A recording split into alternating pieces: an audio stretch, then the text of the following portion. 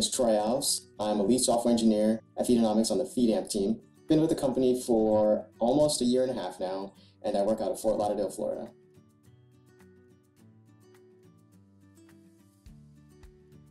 My previous role at Feedonomics was a senior full stack engineer.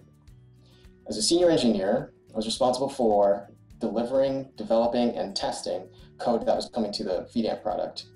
As a lead on the FeedAmp team, I'm now responsible for the success of my team, which means I'm going to be working a lot more closely with the product team and management to make sure that the engineers have everything that they need to be successful.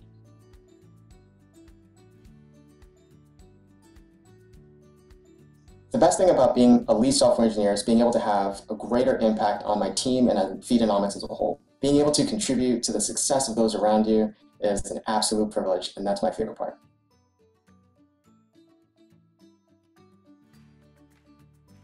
My favorite place that I've ever lived is, of course, right here in Fort Lauderdale, Florida. My fiance and I moved here last year with our uh, little cat, Sailor Moon. Uh, since then, we've gotten a little pup, Theodore, and we live right downtown, really close to some of the best restaurants, live music, and beaches that we get to go to all year round.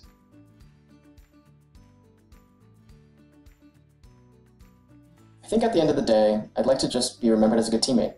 I'd like to have made a positive impact on those around me and be able to leave a really positive legacy at Feedonomics.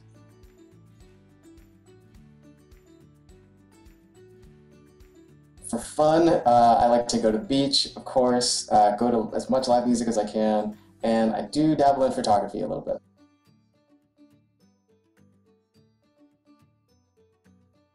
Uh, spicy nacho Doritos. Those are the best. Um, I don't have one specific guilty pleasure TV show, but I just really love trash reality TV. Like just the worst kind, worst rated possible stuff on the internet. I love it. Ooh, my favorite Halloween candy. Um, I think it's got to be Reese's Pieces.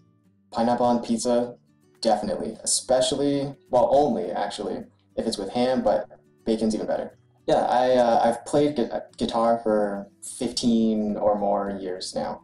Uh, I used to play in bands and gig around my old neighborhood, uh, but I'm too old for that stuff now, I think. I had two bands. Uh, one band was called She Said That, uh, where we had a female lead singer, and my most recent band was called Westview. Uh, I still jam with those guys every once in a while, but we don't live in the same state anymore, so it's very rare when it happens. See you next time.